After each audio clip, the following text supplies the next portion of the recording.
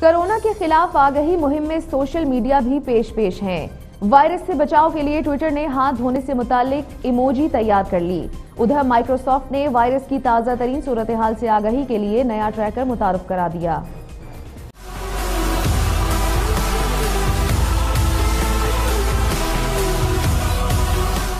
عالمی ادارہ صحت کی جانب سے چین کے شہر ووہان سے دنیا بھر میں پھیلنے والے کرونا وائرس کو عالمی وبا قرار دے دیا گیا اور اس وائرس نے نہ صرف ہزاروں افراد کی زندگیاں نگل لی بلکہ لاکھوں افراد کو بھی متاثر کیا ہے۔ اس صورتحال میں لوگوں کے لیے اس کی احتیاطی تدابیر کے بارے میں جاننا بھی بہت ضروری ہو گیا ہے۔ اس کے لیے ہر سطح پر آگاہی مہم بھی چلائی جا رہی ہے اور احتیاطی تدابیر بھی بتائی جا رہی ہیں، جبکہ micro blogging web site Twitter نے لوگوں کو ہر دم کم از کم ہاتھ دھونے سے متعلق آگاہ رکھنے کے لیے ایک امیوجی تیار کی ہے، جو Twitter per hand washing wash your hands اور سیف ہینڈز لکھنے پر خود بخود آ جائے گی۔